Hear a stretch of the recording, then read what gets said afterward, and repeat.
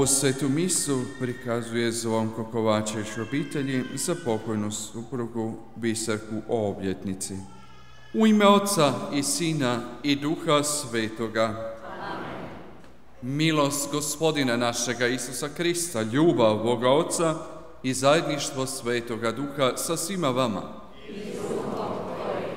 Braćo i sestre, ušli smo u drugu nedjelju kroz godinu. Kao što smo već na početku božićnog vremena rekli da dokle god su jaslice u našim crkvama, držat ćemo se božićnog vremena do prikazanja gospodinova, tako i ulazimo i s ulaznim pjesmama božićnim, evo kroz čitavo još ova dva tjedna koja su pred nama. Na početku ove svete mise stanimo pred Boga, zamolimo ga da nam oprosti naše grijehe.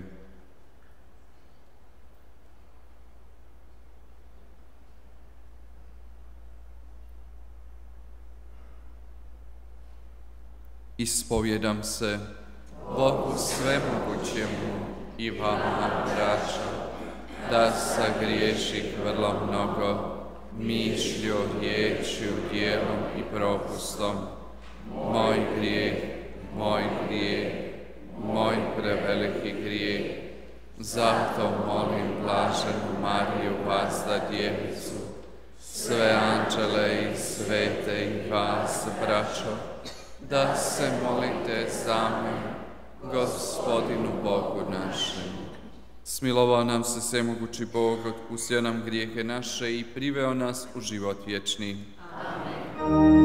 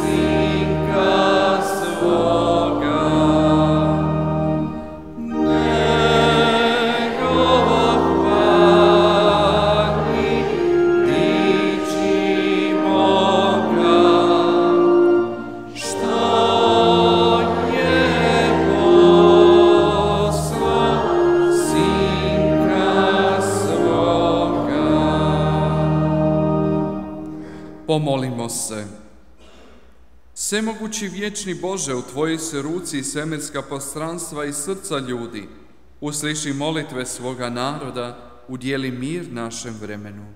Po gospodinu našem Isusu Kristu, Sinu Tvome, koji s Tobom živi i kraljuje u jedinstvu Duha Svetoga Bog po sve vijeke vjekova.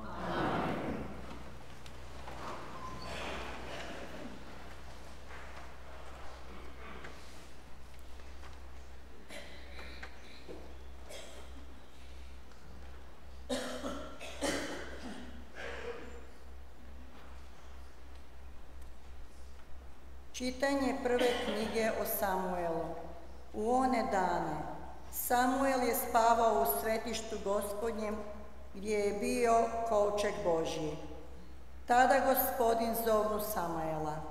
On odgovori, evo me, i otrča Eliju i reče, evo me, ti si me zvao, a Eli reče, ja te nisam zvao, vrati se i spavaj on ode i leže. I gospodin opet zovnu Samuela. Samuel usta. Ode k Eliju i reče, evo me, zvao si me.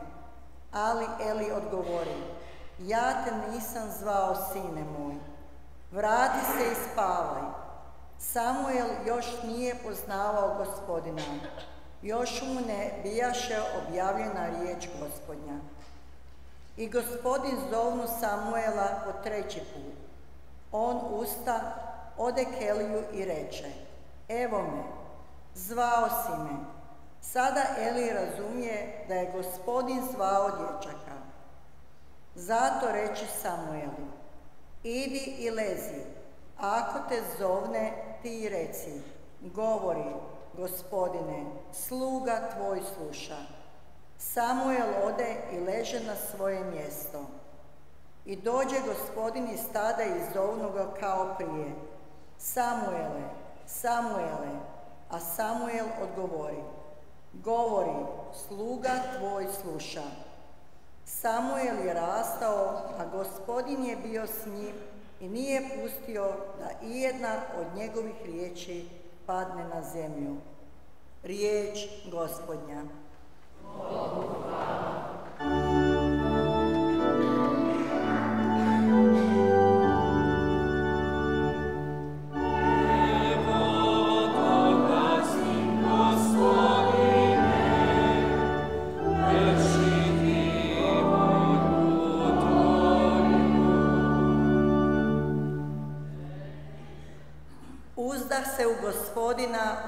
Uzdanjem silnim i on se k meni prignu i usliša vapaj moj. U usta mi stavi pjesmu novu, slavopoj Bogu našemu.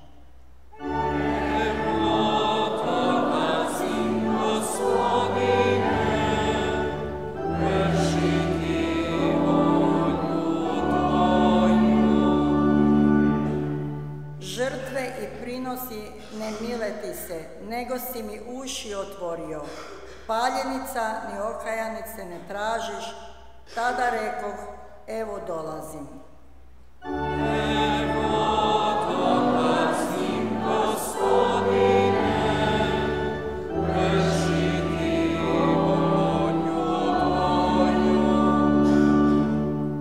U svitku knjige piše za mene, milje mi je, Bože moj, vršiti volju Tvoju.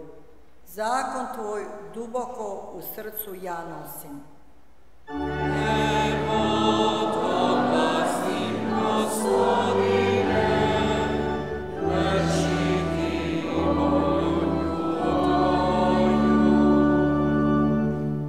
Pravdu ću Tvoju navještat u zboru velikom i usta svoji zatvoriti neću. Gospodine, sve Ti je znano.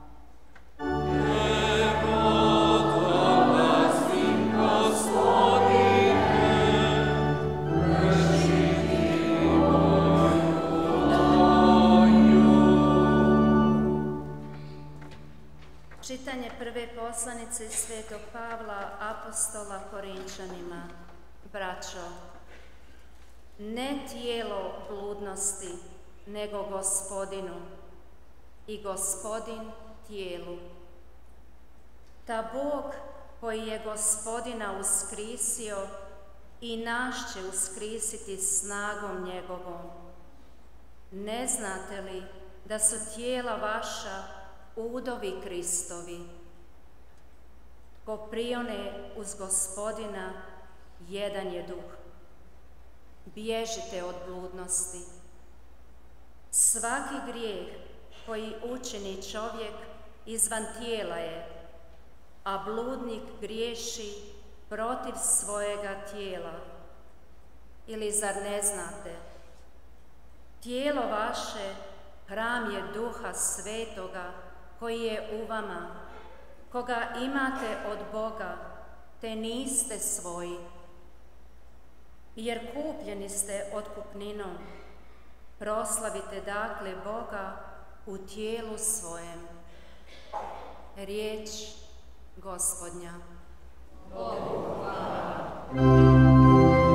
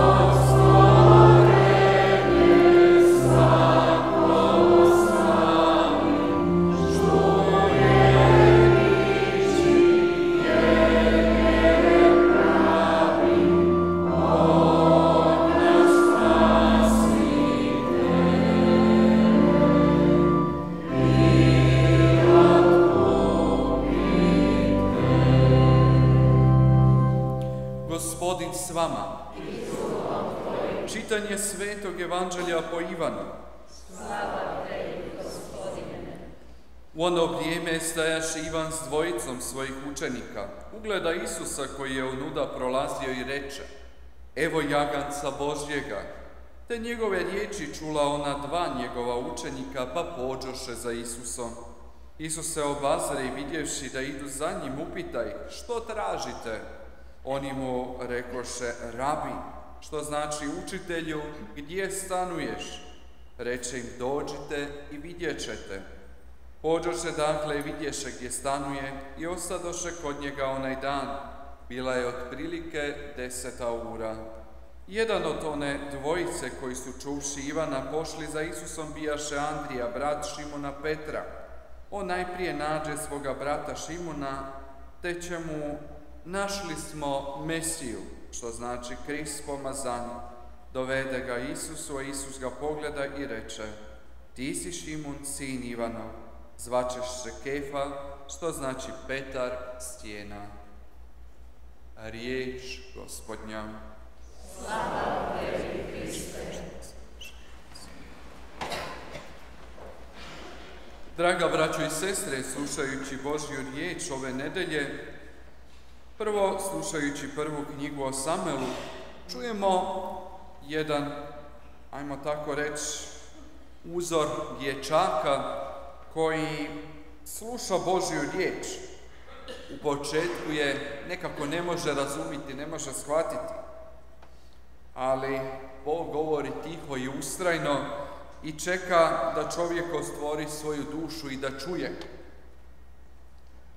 Samuel nije odmah shvatio da ga Bog zove, da mu daje poslanje u njegovom životu. Mislio je da ga ovaj svećenik Eli zove. No, i više puta, koliko smo vidjeli, ustaje, ide, izvoli, što je bilo, što si me tražio? A nisam te tražio, ja.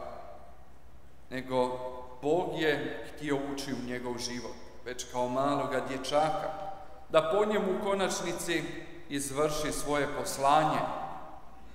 Reći ćemo što je sve Samuel činio u svome životu, kad je Bog ušao u njegov život, i kad je vodio njegov život i poslanje koje mu je dano od samoga Boga, čak je i pomazao kralja Davida.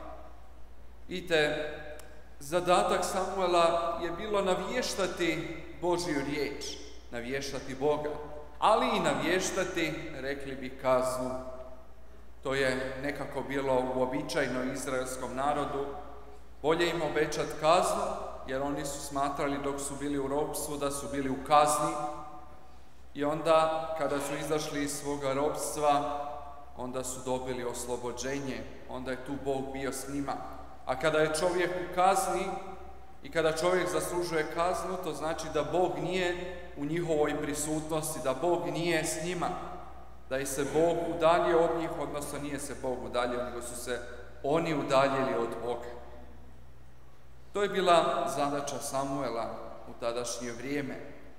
Ali, slušajući još malo Božje, kaže, Samuel je rastao i gospodin je bio s njime i nije pustio da ni jedna od njegovih riječi padne na zemlju.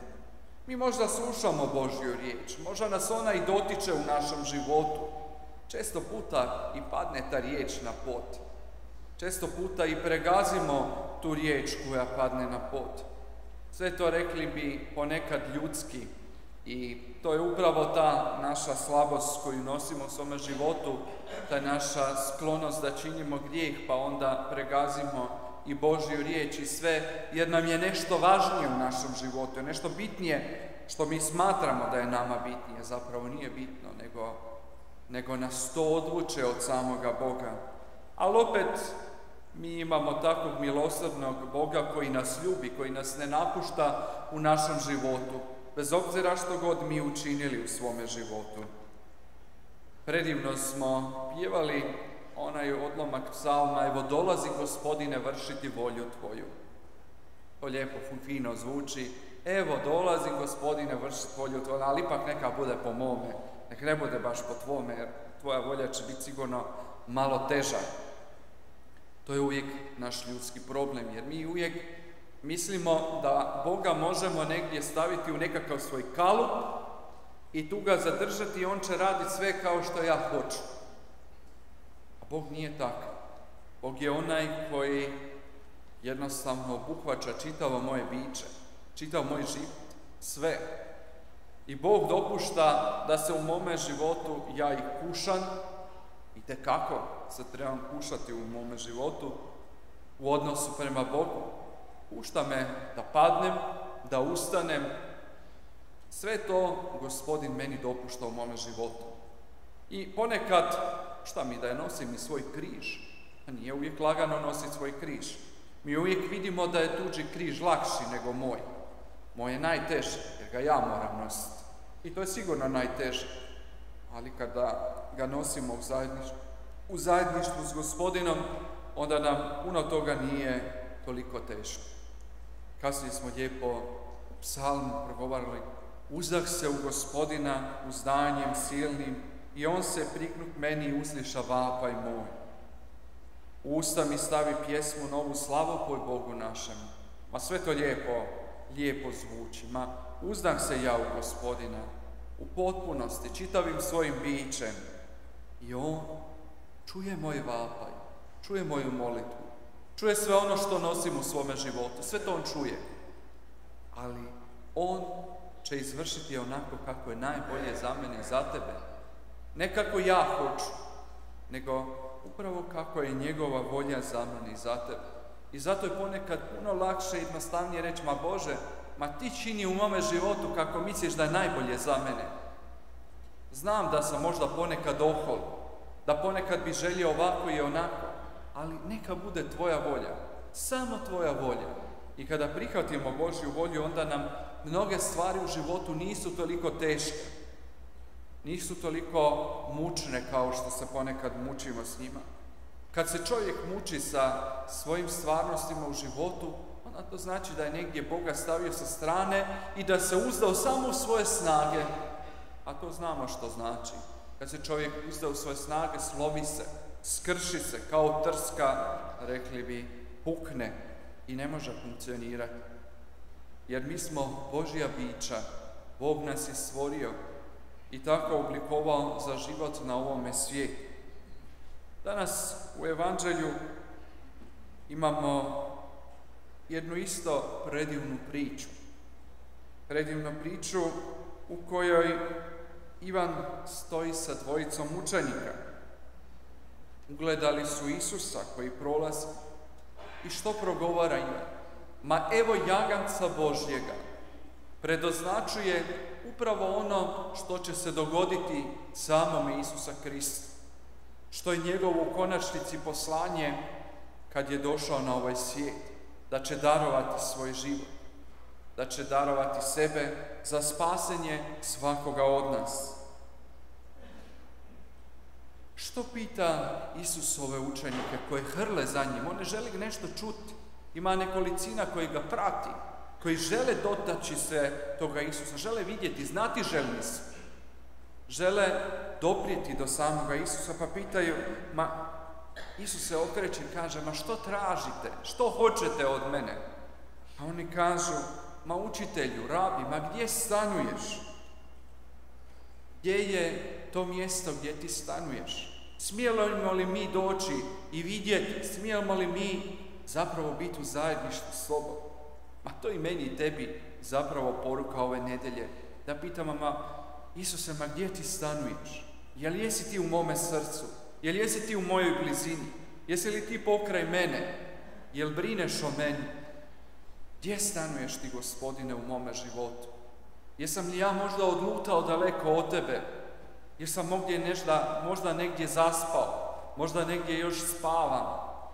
Gdje si ti, gospodine?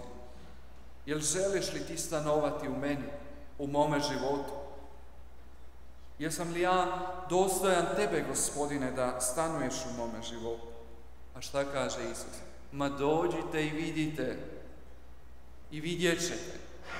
To znači, ma dođi Isusu, prepusti se Isusu.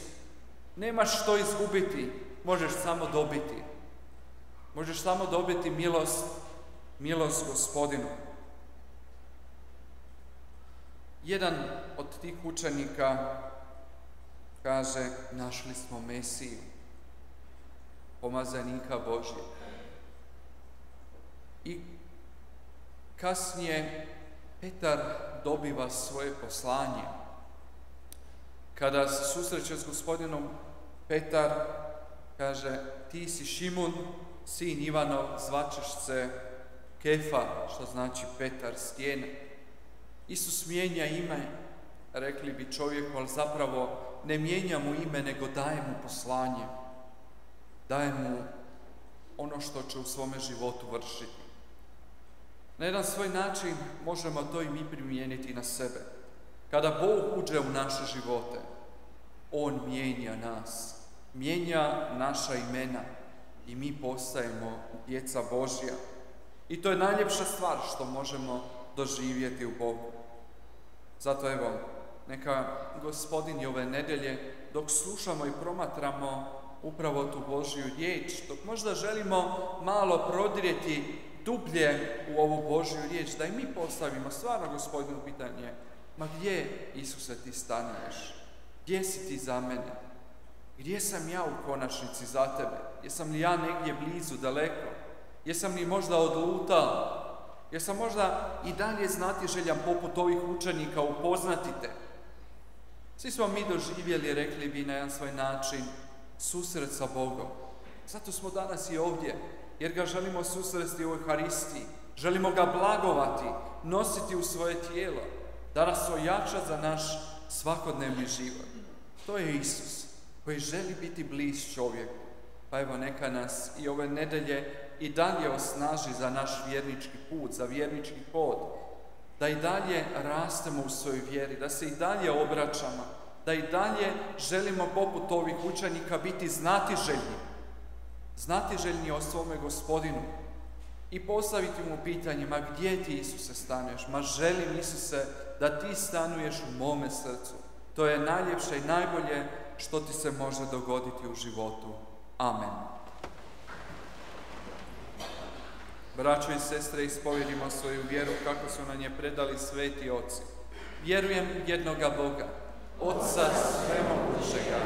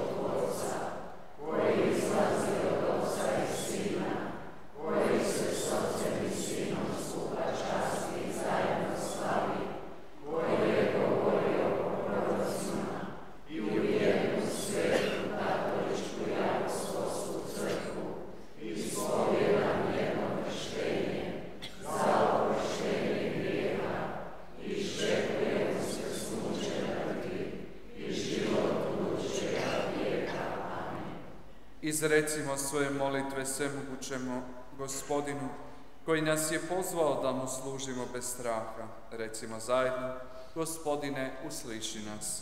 Gospodine, usliši nas. Obdari, Oče, svoju crkvu duhom svetim, da u svim prilikama i neprilikama prepoznaje Tvoje znakove, te navješćuje Tvoje ime svakome stvorenju, molimo Te. Gospodine, nas. Pomozi, Gospodine, službenicima svoje crkve u vjerodostojnom življenju Kristova evanđelja, molimo Te. Gospodine, nas. Prosvjetljuj, Bože, ljude u politici i sve one kojima je povjerena briga za opće dobro, da se uvijek zalažu za pravednost i mir, molimo Te. Gospodine, nas. Očituj, Gospodine, svim ljudima svoju istinu, da spoznaju Krista kao donositelja vode žive i jedinoga spasitelja svijeta, molimo Te. Gospodine, nas. Očisti, Oče, ovu svoju zajednicu, sabranu na euharistijsku žrtvu, od svake ljage zla i grijeha, da u poniznosti srca bude slušateljica i vršiteljica Tvoje riječi, molimo Te. Gospodine, nas. Pridruži, Gospodine, svojoj nebeskoj crkvi, našu pokojnu braću i sestre, da, se, da ti se klanjaju bez prestanka, molimo te. Gospodine, usliši Nebeski oče, ti si nam u svome sinu darovao istinu i život, pokazao nam pravi primjer vršanja tvoje svete volje. Poslušaj milostivo naše prošnje i daj nam odvažnosti da budemo trajno otvoreni vodstvu Tvoga duha po Kristu gospodinu našemu. Amen.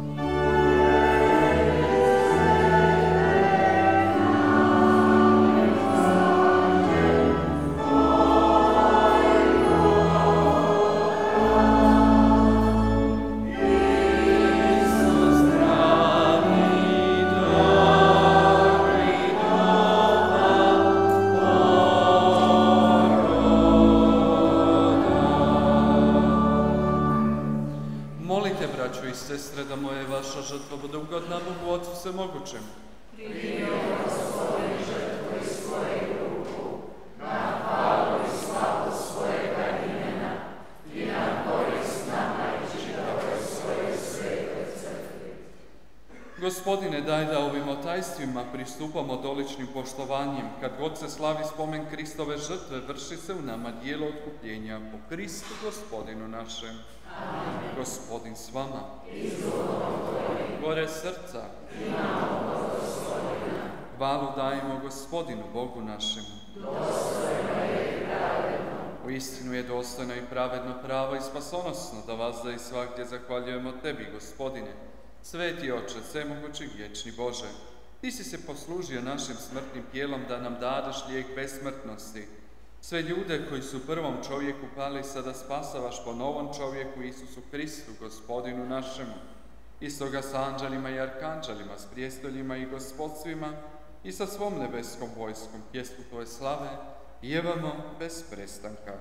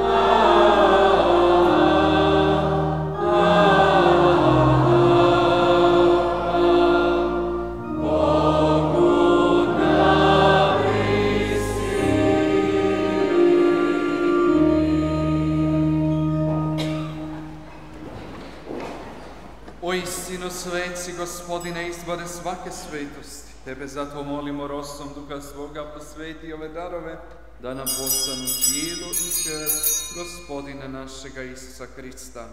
Kad se dragovoljno predao nam u klonu za kruh, tebi zahvali, raznom i dade učenicima svojim govoreći.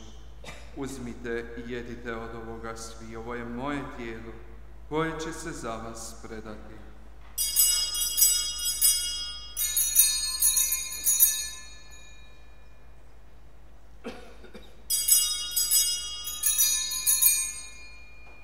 Isto tako, pošto večeraše uze kalež, ponovno ti zahvali i dade učenicima svojim govoreći.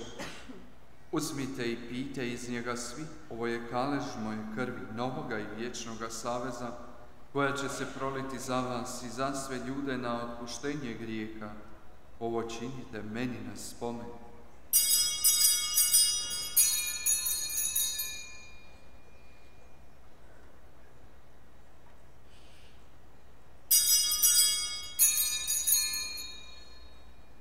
Tajna vjere.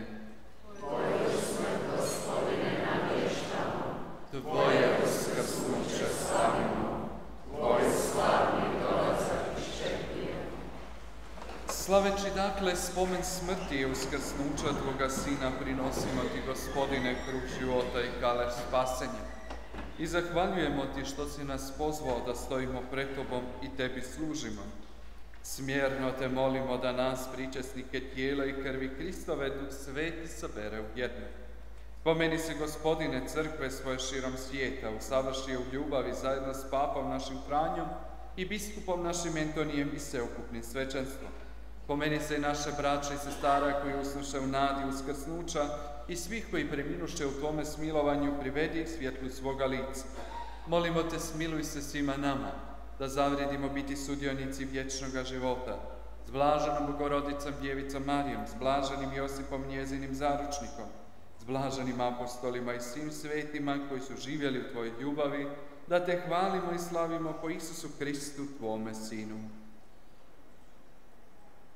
O Kristu i s Kristom i u Kristu, Tebi Bogu Otcu Svemogućemu, u jedinstvu Duha Svetoga, svaka čas i slava, u sve vijeke vjekova.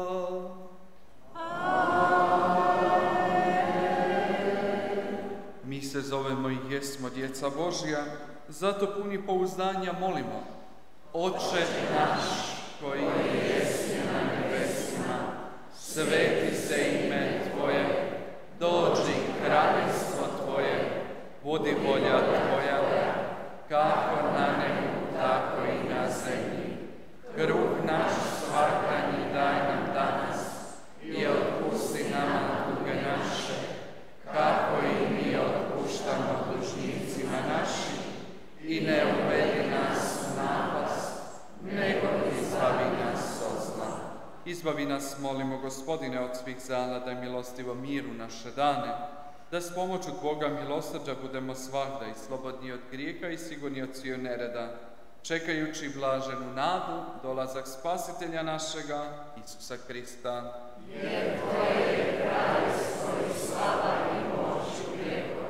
Gospodine Isuse Kriste, ti si rekao svojim apostolima, mir vam ostavljam, mir vam svoj dajem. Molimo, ne gledaj naše grijehe, nego vjeru svoje crkve, daruje mir i jedinstvo, kako je volja Tvoja, koji živiš i kraljuješ u vijeke vjekova. Amen. Mir gospodnji bio vas da s vama. I Pružite mir jedni drugima.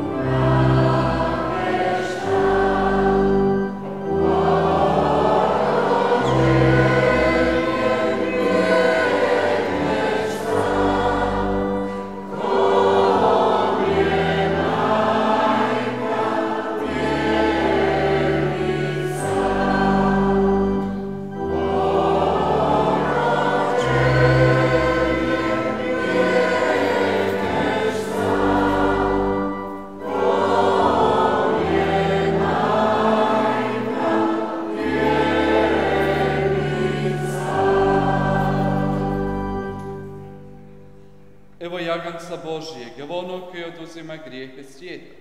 Blago onima koji su pozvani na gospu Jagančevu.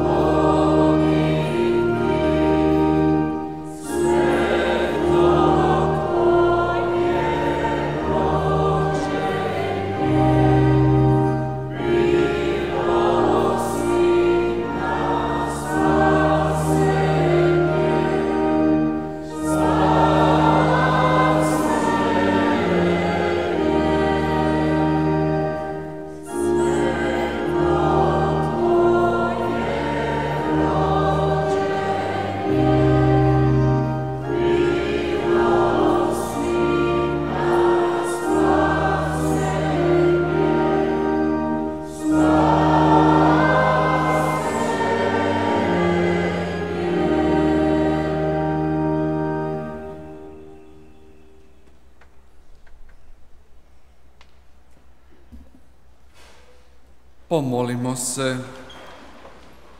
Udjeli nam, gospodine, duha svoje ljubavi, nahranio si nas jednim kruhom s neba, daj da tvojom milošću živimo u bratskoj slozi po Kristu, gospodinu našem. Poslušajmo obavijesti naše crkve. Sljedeći tjedan u katoličkoj crkvi utorak slavimo svetog Bernarda i drugove mučenike. U srijedu svetog Antuna Opata. Iduća nedelja je treća nedelja kroz crkvenu godinu.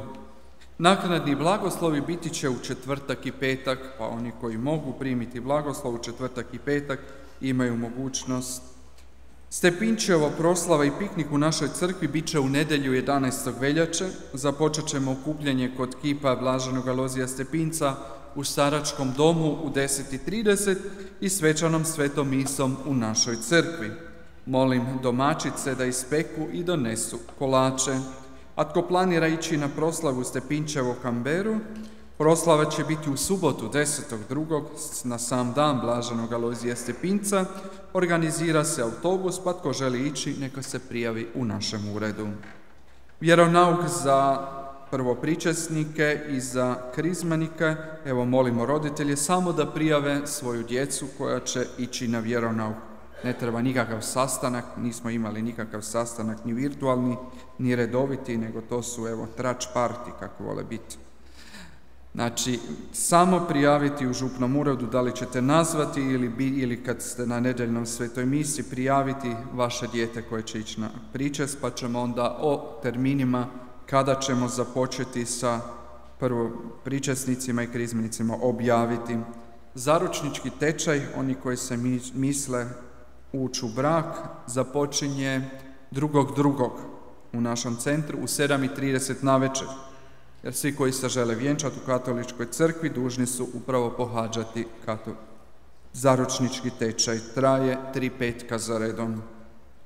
Potpuni oprost, kao što sam rekao na početku svete mise, još i dalje imamo pravo zadobiti pred molitvom jaslica, ako ste se pričestili, bili na svetoj misiji, izmoliti molitvu, vjerovanje, očenaš, zdravo Mario i neku molitvu na nakanu svetog oca i time možemo dobiti potpuni oprost. Ne znam da li sam nešto zaboravio, ako jesam, sjetit ćemo se sljedeće nedelje. A sada zamolimo gospodina da nam udjeli svoj blagoslov. Gospodin s vama blagoslovio vas i čuvao svemogući i dobri Bog, Otac i Sin i Duh Sveti. Amen. Idite u miru.